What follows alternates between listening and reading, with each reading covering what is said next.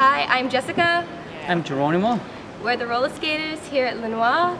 Uh, we were super excited about opening night tonight. And get your tickets at Ticketmaster tonight. It's one show you do not want to miss.